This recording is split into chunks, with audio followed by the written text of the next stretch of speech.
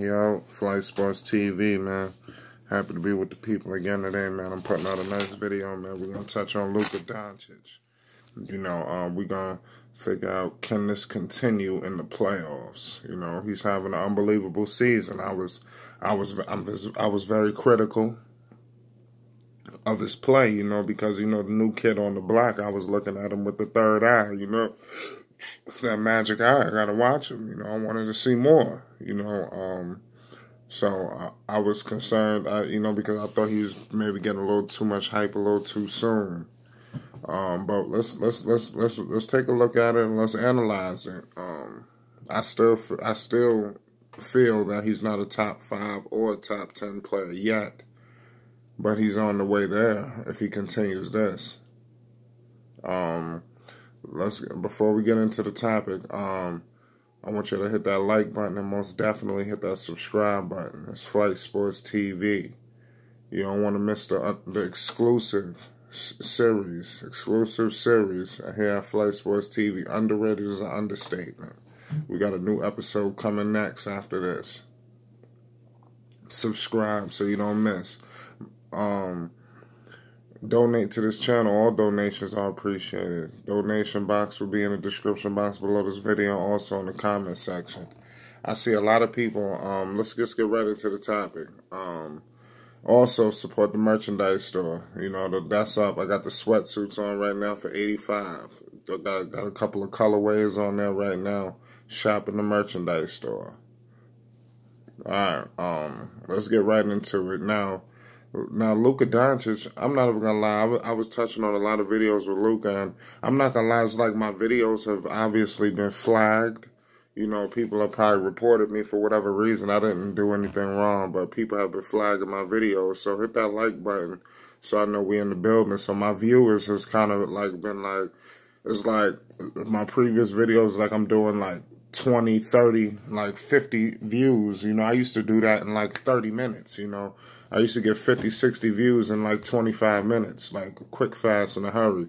You know, so I just looked at, you know, uh, what's going on, how the YouTube don't do things, and when people could try to manipulate the system, you know. So I've been kind of jerked around just for just for disagreeing with everybody else in the basketball world. So I mean, you know, it's tough not when you try and voice your opinion and and for it to go that far. You know, I'm not here taking shots at nobody. I'm not saying that no controversial craziness. You know, I'm just discussing basketball.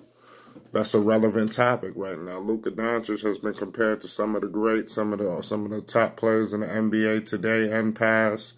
So, of course, I'm gonna say, hey, let's let's let's slow this thing down a minute.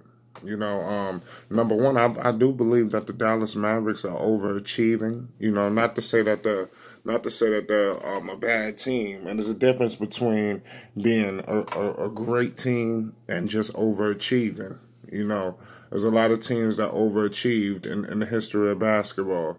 You know, I look at the Miami Heat. I think they're overachieving. You know, today, right now, you know, there's a lot of overachieving teams, like teams that just shoot out of nowhere. Like, oh wow, you know, a couple of teams like the Dallas. I'm not Dallas. Um, well, they are too. But you look at these surprise teams. You look at Phoenix. They was on that on that trajectory of overachieving before DeAndre Ayton really screwed Phoenix because they, they really had a chance to supplant their flag in the Western Conference. We'll get into that in another video. Uh, Minnesota, they've they've been overachieving. Guys like um, Wiggins helping them him reach to his limit. So the same goes for Dallas. I feel Dallas is overachieving, large part on the back of Luka Doncic. You know, um, like I said, he's he's been playing well. So I just want to ask you guys a question: Can this continue in the playoffs? I say yes and no. No with an explanation point. It all depends on the matchup. I'm looking at the right now. They they like I said they've been overachieving the teams at the top, and not really, you know, load management. A lot of teams are not really caring about seedings. So the top teams like the Clippers, I don't really feel they care too much about seedings. You know, I don't think they care about I mean, the number two seed, third seed. I think the Clippers would be cool if they finish in the four or five. Uh, to be honest with you, it wouldn't make a difference. The Clippers are going to be a tough matchup. You know who's the real two best teams in the West. You know, it's just like in the East. You know who the you know who the heavyweights. You know, you got these surprise overachieving squads. You know, so um, like I said, you know they played. They've been beating up on bad teams. Dallas, you know they they they, they um, beat up on New Orleans again this year. I don't know what the hell is going on with New Orleans. I just think they should let Zion probably just sit out the season. But it all that team is not right until Zion gets back. So they're gonna continue to struggle. You know, so just looking at the matchups, you know, I believe well, if the playoffs was to start today, I believe they would play Phoenix. Of course, they would beat Phoenix, Dallas. I don't Dallas, Phoenix and Minnesota are in the seventh and eighth at the moment. If we was to start the playoffs today, like I told you guys in my previous content, the, the season is still young. What are we, twenty games in now? Low, low, about 20, 20 games. So we just kind of getting to the first half. You know, um, almost creeping up or closing the first half of the season. So, uh, you, you, look at that, um, San Antonio, you know, Portland, Oklahoma City are like right on their heels on the in the seven. And I, like I said, I see Phoenix and Minnesota just losing. They, those teams have no business sniffing the playoffs. Dallas was another team as well, but Dallas seems like if they continue this, we'll see what happens. They're gonna have a tough, tough uh, schedule. Their schedule should, should like stiffen up a little bit. Pause. Like it should get a little hard for them, you know. So these wins and the shouldn't go as as convincingly as it's been. You know, um, you get in that comment section. You let me know. Can you do you believe this can continue in the playoffs? It's Flight Sports TV. I mean, um, like I said, I, I feel like they can't beat San Antonio in the playoffs. I'm gonna be honest with you. Um, like I like I stated before, it's, it's too many guys that could could get in front of him in the playoffs. See, like I said, you look at a team like um, I, I believe if they play Portland in the playoffs, I believe it would just be a slugfest. But I believe Portland would, would, would emerge victorious in that slugfest because I just believe Damian Lillard is pound for pound better than Luka Doncic. You know, I, I really believe that. You know, uh, so that's why I said if if it just because Portland is, I'm not sure defensively how it would be. I believe on the inside with, with Whiteside, he should shut things down for um, make things tougher for for, Snacks, uh, Kristaps. He should make he should make things easy, uh, uh, difficult for him. And Kristaps is really just riding the pine right now. He's riding Luka's wave. Kristaps haven't done really much of much of nothing. You know, garbage. You know, he's just you know just a, a serviceable role player you know, making a hundred plus million. We're gonna get to him too. Hopefully, you know, he close to on that borderline of stealing money.